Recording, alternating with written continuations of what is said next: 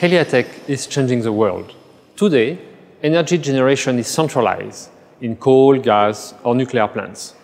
Tomorrow, energy will be produced locally where we need it. We manufacture plastic film, which generate electricity. These films can be integrated everywhere, on building facade, on roof, on cars, on clothes, or on mobile devices.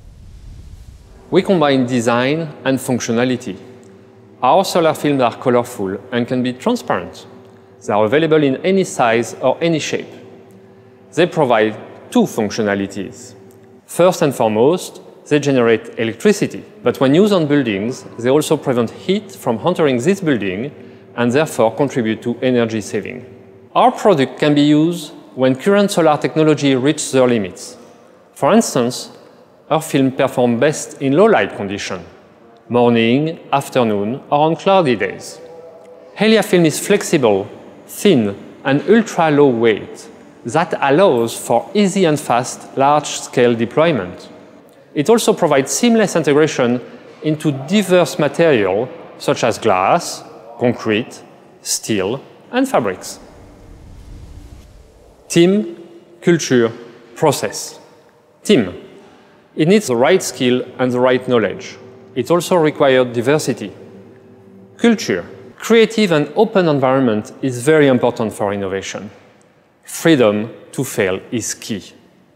Never give up should also be part of the culture. Last, you need the right process. Process needs to be in place to manage changes.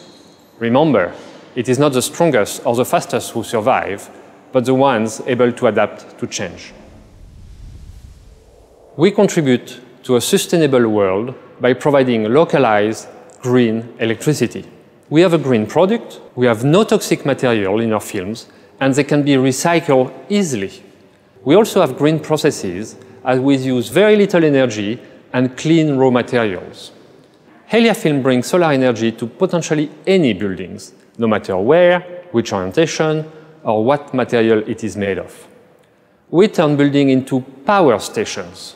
This is key to net zero energy building. In other words, it will reduce the carbon footprint of these buildings. Beyond the building, we can also bring localized power generation to third world countries that do not have access to the grid.